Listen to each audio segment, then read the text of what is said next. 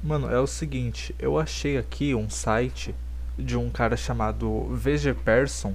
É, algum dia eu vou falar sobre um pouquinho sobre quem foi esse cara. Mas ele é basicamente um dos tradutores que já esteve junto com a Funa, digamos assim. Mas ele acabou saindo desses projetos, não se sabe por quê. Mas aqui no site dele dá para jogar como se fosse um jogo em Flash a, a primeira versão do Ice Screen que se chama Ice Watching e parece que tem três partes ao invés de uma só. Dessa vez eu tô jogando sozinho e não vai ser em cal. Ó, aqui a gente tem a ilha iceberg, né?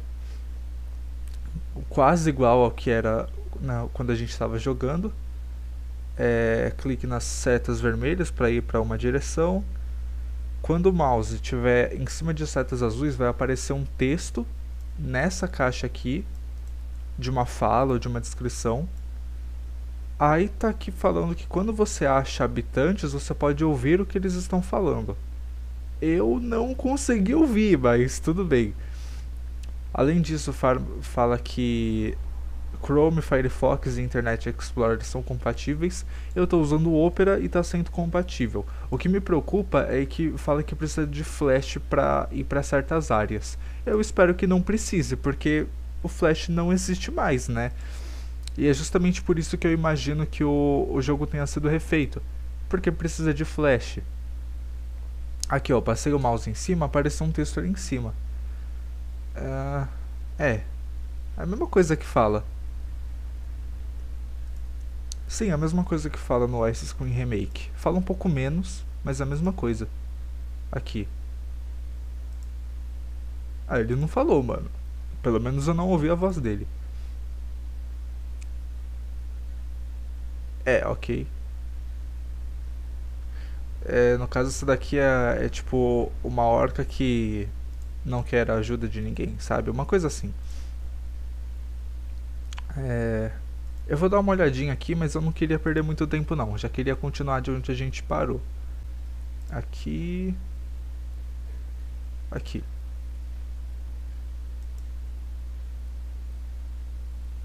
Tá, pera.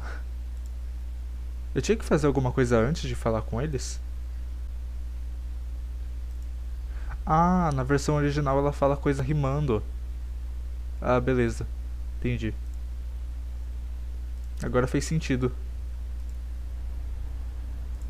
Será que eu tenho que que ir para todos os lugares antes de vir aqui?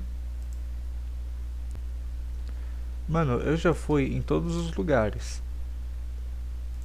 Eu vou dar uma pesquisada se eu tenho que fazer alguma coisa além de, de ter visto, né? Porque naquele lá a gente tinha um tipo de cutscene, mas talvez esse daqui não tenha, né? Afinal, isso daqui é o de que? 2006, sabe? Eu tinha um ano de idade quando isso daqui foi lançado. Tá, então pelo que eu pesquisei, é só isso. Tipo, é realmente observar ele iceberg. Eu não posso nem chamar isso de gameplay, é mais para uma história, uma história interativa e não tão interativa quanto a outra. Mas olha só, agora a gente tem a parte 2 e dá pra ver umas mudanças visíveis no cenário. Ó, calma.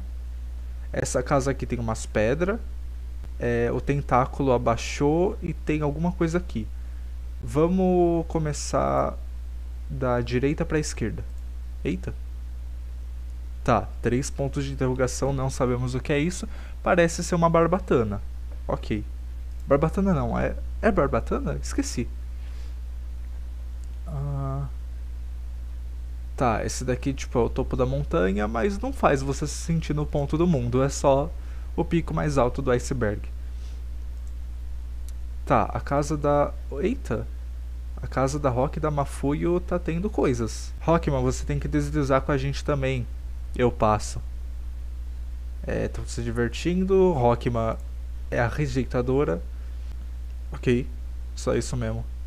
Ah, que dia refrescante. Será que você poderia baixar o fogo? Oh, esse coelho não é o um dos soldados da da Totsuza? Antes era Tosatsu, mas agora é Totsuza. Carne. Coelho come carne? Tá bom. Suno está aqui. Ele vai derreter logo. Ele deve derreter logo. A zona de perigo da orca agora tem o Nekoyama. Aqui, aqui se chama Delivery Man. Quero dizer, esses cigarros são realmente bons?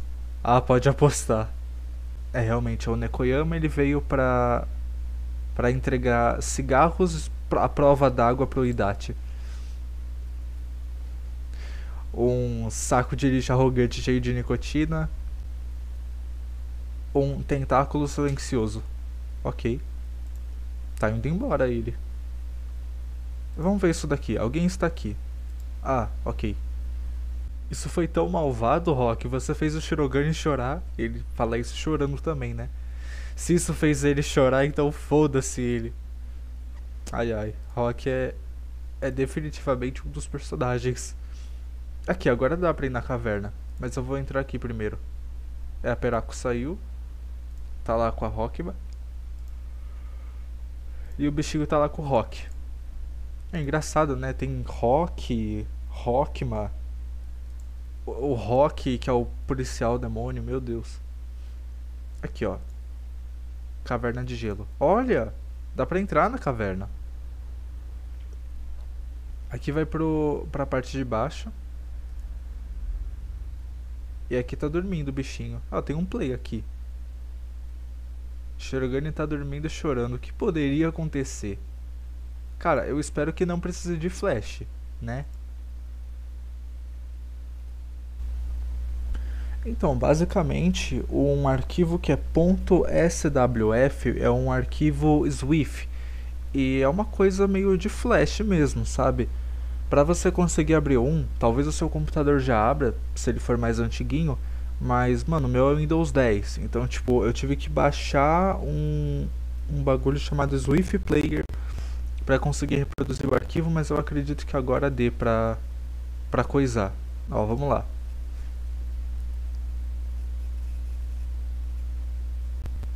Ok.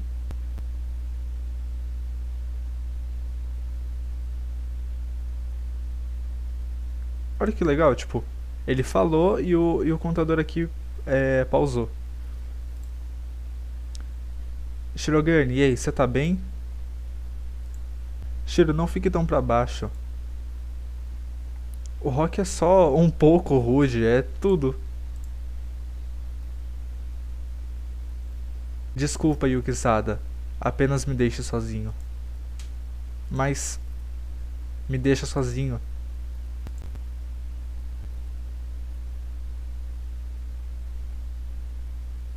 Ó, essa cena aqui da parte 2 é igual a que a gente viu na primeira parte. Na real, a primeira parte tem até mais coisa. No quesito de diálogo, né? Porque isso daqui não tem. Então a parte 1 tem mais coisa ao mesmo tempo que tem menos coisa. Reticências. É. Eu sou só sem esperança. É claro que eu sei disso. Eu. Eu. Ah lá, teve sozinho. Sonzinho. Ok. Isso também é parecido com o que a gente tinha visto. Ó, isso daqui. Isso daí é parecido com o que tem na parte 1 do remake.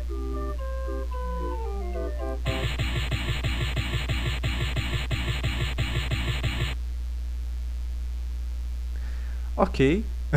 é, foi dramático, mas tudo bem. Então, agora que a gente já viu as coisas que são da parte 1, na real a gente viu até um pouco mais de conteúdo, dá pra prosseguir pra parte 3. Vamos ver se tem alguma coisa nova. Deve ter, né? Se não tiver. Oxe, a Lula tá um pouco agitada. Tá, calma, eu vou ver ela. Eita. É, tentáculos aflitos. Tá, alguma coisa aconteceu com essa Lula, mas a gente não sabe o que é. Ainda. O orc está aqui. Não falem com estranhos, crianças. Ele não quer se aproximar do centro da ilha. Por quê? Ok. Perguntas. Esse daqui deve ser o centro da ilha, né? Tá bom. Casa do Rock. Aí é que a gente tem o Rock falando: É, você quer saber a melhor forma de linchar uma orca? Ban. Ou Boom. Ah tá, aqui é a casa dele, beleza. Tá, Iglu, a Mafuio tá se perguntando o que que tá acontecendo. Eu acho, né? e a Peraco tá brava, inclusive tem o rosto no chapéu dela. Ok. Mas ela tá falando, tipo, uh, Shirogane, os meus irmãozinhos construíram isso daí. Como é que você se atreve a estar tá dentro disso? Sai daí. Eita, é realmente Shirogane, ele saiu de onde ele tava. Bunda, ok. Eita, pera, aqui tem um play. Tá, tá, tá. Vai ter outro daqueles negócios, mas antes de ver, vamos explorar o resto. Faltou a casa da Rock da Mafuio. Ptarmigan. Eu não sei o que é um Ptarmigan. Tá, aqui não tem nada. É, a Mafuio tá com a, tá com a Peraco aqui. Agora onde a Rock matar... Vamos dizer que foi tudo culpa da Orca. E o, e o Kiyosata tá com reticências. Mas o que é culpa da Orca? O Shirogane? Ela não viu o topo, né? Aqui é Rockma. Ela fica super irritada se você tocar nisso. É, eu sei bem o porquê. Rockma está olhando pro mar. Ela parece estar olhando para alguma coisa. Ó, vamos pensar, ela tá olhando pra, pra esquerda, né? Ela tá olhando pra, pra esquerda. Tá, não tem nada pra esquerda a não ser o, os bichinhos aqui, né? Mas eu olhei tudo mesmo. Ó, aqui eu já olhei. Aqui também. Não sei, eu sinto como se tivesse mais coisa. Tipo, o Orca tá se escondendo do centro da, daqui, né? Supostamente. Mas de que que ele tá se escondendo? É, mano, eu acho que o que nos resta é ver o, o negocinho aqui, né? Vamos fazer o download. Olha, eu voltei desde o início do negócio e tem uma tela de loading, mas tudo bem. Ó, vamos. Shiro. Que? Eu tava pensando... Talvez seja melhor você não ir em qualquer barco, afinal. E por que isso? Quero dizer, pode ser perigoso. Se ele vier enquanto você tá no barco. E quem liga, tá tudo bem. Eu eu espero só não me incomoda. Vamos. Ah, então você quer morrer tanto assim? O Shirogane fica surpreso. O Yukizada parece que já sabia. Ah, é a Rockman, achei que seria o Idachi. Uh, Rockman. Idiotas. Até uma foca poderia lidar consigo mesma no mar. Melhor do que um cachorro como você. E mesmo se eu estiver errada, tentar usar um barco para todas as coisas é uma coisa além da imaginação. A não ser que você queira morrer.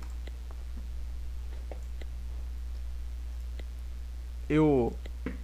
Me desculpa.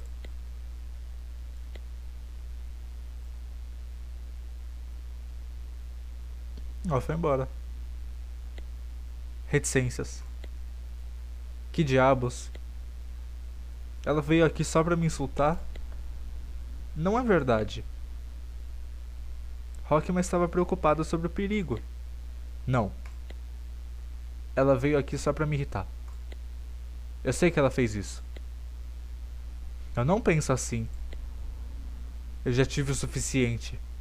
Por que todo mundo é tão bravo comigo? Oxe. Mano, o... ele teletransporta. Beleza. Por que, Shirogane? Você é um cachorrinho idiota, irritante e fraco. O que? Suno? Mas como... Você tem algum problema? Ah, tem muitos problemas com você. Para começar, essa caneca miserável que você tem? Que. Se você não quer que as pessoas digam isso e aquilo, e você não quer ninguém para te incomodar, a sua única esperança é viver sozinho em uma ilha. Mas você nem consegue fazer isso. Tudo que você consegue fazer é andar por aí é completamente patético. Cachorrinho malvado não consegue nem mudar para melhor. Suno, como você se atreve? Você não pode só dizer coisas cruéis como essa. Cruel? Esses são apenas fatos inabaláveis. Mas esse cachorro idiota não parece conseguir entender, então eu tô dando uma mãozinha, sabe? Pelo seu próprio bem. Suno, o Shirogane é legal, tá bom? Não fale dele tão mal. E com isso você quer dizer que ele é um covarde, né? Meu Deus. Ah! É, o lobinho ficou puto. Ah, Shirogane. Ah, parece que o cachorro correu. Suno, como você. Você é o único que é tão relaxado com o Shirogane. Um pouquinho de perseguição minha deve ficar tudo bem. Não é que. Bom, você sabe. Você tem que admitir isso até que aquele cara consiga bater naquela orca. Quero dizer, isso. Ele não tem nenhuma chance, não tem? Hehe. Bom, se divirta. Ele vai sumir? Ah, ok. Achei que ele ia teletransportar de novo. Foi isso, tipo. Eu não sei se tem mais alguma coisa, eu vou até. Pera, tela cheia, né? Eu vou até voltar aqui na parte 3 para ver se tem alguma coisa. Ainda tem coisas que não fazem sentido. Tipo, por que... Ah, ok, ok. Isso daqui também faz sentido. Ela tava olhando justamente pro, pros bichinhos aqui. Aí o Shirogane foi pra cá. O Rock, beleza. Continua aí. Mas isso daqui, mano ele tá se afastando do centro, que aparentemente é aqui. A Lula tá agitada, mas eh, não tem nada que justifique eles estarem assim. Ó, aqui na caverna tem o coelhinho. Na casa do Yuki não tem ninguém. Na casa da Peraco também não. Então, tipo, até essa versão mais antiga tá incompleta, porque nada justifica o comportamento de alguns bichos. Talvez. Talvez existam algumas coisas. Mas eu vou ter que aqui voltar no capítulo 2. Aqui. Essa parte aqui parece ser é, a mesma parte do Idate, mas você passa o mouse em cima e tem três pontos de interrogação. Eu acredito que aqui em cima seja a personagem Nage, que é tipo a sobrinha do Idachi. Agora, é o motivo da Lula ter ficado desesperada, como ela tá aqui, aí eu já posso deduzir que foi uma outra personagem chamada Gris. Mas daí eu vou ter que fazer uma pesquisa rápida. Eu tive que pesquisar só para provar o meu ponto, mas a gris é uma baleia cachalote e elas comem lulas gigantes. Então, assim, talvez aquela lula esteja tão aflita porque tem uma cachalote perto dela, né, a gris, e o Idachi pode estar longe do, do iceberg justamente porque a gris é, parece que tem uma certa paixão por ele, mas provavelmente ela é muito forte, de um ponto que o Idachi não espera. Então, na presença da Gris, ele fica desconfortável, ele chega a ter medo dela. Então, se houvesse uma parte 4 do remake, provavelmente nos apresentaria a Gris. Quanto a Naja, eu não tenho certeza, mas a Gris teria que apresentar. Porque eu acho que só ela seria capaz de explicar por que, que o Idate está longe da ilha, por que, que a Lula está tão aflita. Mas é isso. Bom dia, até mais.